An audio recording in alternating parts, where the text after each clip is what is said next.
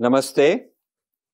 You know, when people think of India, they and Hinduism, and especially Gandhi and also Buddhism, uh, they think of ahimsa. Ahimsa is a very common, popular aspect of India, which is sort of become internationalized. And they like to translate it as non-violence. I have some disagreements with this translation, serious ones. And I'm going to ask Dr. Das to also explain, to explain how ahimsa and non-violence are distinct. Non-violence. The use of peaceful means, not force, to bring about political or social change. So what do you think of this vis-a-vis ahimsa? Well, I think every country has police force, every country has army, every country has prisons. So they are not just peaceful means. Everybody has, every country has got big budget for their army and making arsenals and bombs and whatnot. So these are not peaceful means. So where is the ahimsa according to this definition? So if you analyze the life, we see that life is based on himsa, violence. There is always some violence involved. In fact, in Bhagavatam, there is a verse like that. Ahasto sahastanam apado chatuspadam mahato falgunam jivo jiva sajivnam. That one living being is actually surviving on another living being. Those who do not have hand, they are the food for those who have hands. Mm. Right? Human beings are eating all kinds of things. Those who do not have feet, like grass, then they are eaten by Chatuspadam, those who have four feet. And the weak is exploited by the strong. So this is what you see. So then dharma is brought into picture to control this, to regulate it. So dharma is a regulating principle for too much violence. You cannot eradicate it completely. So then violence has to be done to maintain the peace and that's why we have police, we have army, and we have all types of systems for punishment. That is not peaceful means. Peaceful mean will be just by talking or having a dialogue. You know. So violence has a role to play. And in fact, to maintain peace, you need some violence. So if somebody is unruly, somebody is a criminal, then how are you going to restrain that person? You you have to take to some certain violence to restrain that. Sometimes you you have to kill a person. There's a capital punishment. Or another neighboring country is attacking your country and you are a very peaceful person. So what peaceful mean are you going to use now to restrain the army? And if you don't have an army they will take over and then they are going to do a big violence to you. So your peaceful mean will actually become the cause of violence so sometimes the peaceful action may be a violence, and a violent violent act may be actually cause of peace. So you have to see what is the outcome. If somebody attacks my family and I am just peaceful, although I have the power to actually you know restrain this criminal or even shoot, I have a gun, but I say no, I want to be peaceful. So then what is going to do? That he is going to kill me and my whole family. So Mahatma Gandhi was asked this question once that suppose you are in a village and some criminals with weapons attack the village and they want to shoot and plunder and rape the women. So what are you going to do because you are a non-violent person? So Mahatma Gandhi's answer was, I will come first in front of them and let them shoot me first. But that is not a solution. Okay, they will shoot you first and then they're going to do what they want to do. So, how you have helped? So, that is not what Krishna is teaching in Bhagavad Gita. That's the reason he's saying that you have to fight.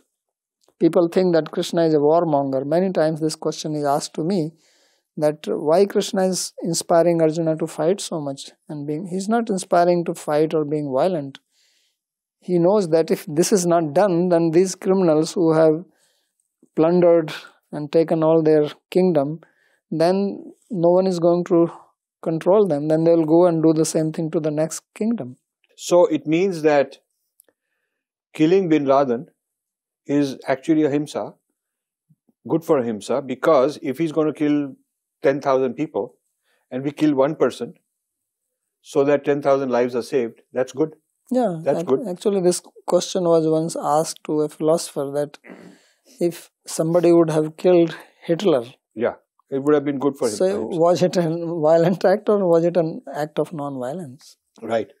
So ahimsa means minimizing the violence Right. rather than eliminating the violence. Eliminating violence is not possible. Not possible. So if violence on, on level 1 violence will avoid level 10 violence, it's a good thing to have level 1 violence Right. because overall you are minimizing violence. On the other hand, if you avoid this level 1 violence and it explodes into very big violence, then you've actually committed huge violence. Yeah, you are becoming instrumental in that. Yes. And this is exactly what Krishna is teaching, Right, which people don't understand. right, right, So you take the example of Krishna and then take the example of Mahatma Gandhi. right. So Mahatma Gandhi, all the respect to him, and he was very peaceful person, and he was, you know, very austere and you know very devoted. But then he himself became an object of violence. Right. So, would we say that Gandhi translate mistranslated ahimsa as non-violence and taught what he was really teaching was non-violence, but calling it ahimsa? Right. He was not really teaching the correct meaning of ahimsa. He was calling it ahimsa, but he had digested this word ahimsa into non-violence, and he was really talking about non-violence. Because ahimsa is not unconditional non-violence. It says that you commit violence where required to save even the bigger violence, to prevent the bigger violence. Right. So you see the word, if you even if you take the Sanskrit word, so ahimsa is the word comes from himsa with a before it, Right. which is called naya samas. It is a type of samas or compound where naya is used, which turns into a. So a himsa. So usually people think that it just gives the opposite meaning. That if you have violence, then it is non-violence. You have jnana means knowledge, ajnana means no knowledge. No, a has got six meanings, Right. and one of them is less or small. Right. The example is given like anudara kanya. Right. So udara means belly, and anudara literally would mean if you take the meaning of negation means one who has no belly. Now, how if she is a girl, how is that she has no belly? Right. So it means small, thin waist. Yeah. Yeah, So we are minimizing himsa. right. Now that's one thing, That is ahimsa. ahimsa. Second thing I want to discuss is why limited to physical violence as an issue? Can we say himsa is a kind of uh, uh, something that is harming? It could be emotional harming. Yeah. Yes. It could be so if you go and convert people away from their religion and you put them into kind of a disconnect with their heritage, disconnect with their ancestors, disconnect with their sacred soil, uh, in a sense, you've done himsa. Yeah, so Manusmriti actually says that there are three types of violence, hinsa physical, verbal, and mental. And he actually says that the reaction of whatever type of violence you do, it will come at that level. If you do physical violence, you will get reaction at physical level. If you do verbal, you will get at verbal level. If you do at mental level, you will get violence at the reaction at the mental level. So, and sometimes mental is more powerful than physical. So, converting people on a large scale away from their heritage is mental violence. This is also violence. So, yeah. So, I think that's another uh, reason that uh, ahimsa should not be translated non-violence because it doesn't have to be physical. Uh, the word non-violence generally means physical kind of stuff. We're talking about even emotional, intellectual, verbal harm. So, it's more like harming. So, maybe ahimsa is more like minimization of harm rather than non-violence. Minimization of harm, various kinds of harm. Right. So that could be at emotional level, physical level. So you can do himsa just by your talk, by Right. your words, you know. Right. Economic exploitation Yes. causes causes mental anguish. So the person you've squeezed them off their so colonization is doing a lot of himsa. This was a big violence. It's a huge violence on people's uh, quality of life and so on. So uh, ahimsa is a powerful word, And you know, there are some people who don't like what Gandhi did, and so they're saying we reject ahimsa. I don't want you to reject ahimsa. I want you to reject the defin- the translation of ahimsa as non-violence. Yeah, we have to. Uh, ahimsa is a very important principle of dharma. Right. We don't reject that, but we have to understand the meaning behind it. Yes. So if a terrorist is coming with guns and he's about to start shooting around, uh, you have a chance to kill him. That's uh, actually ahimsa.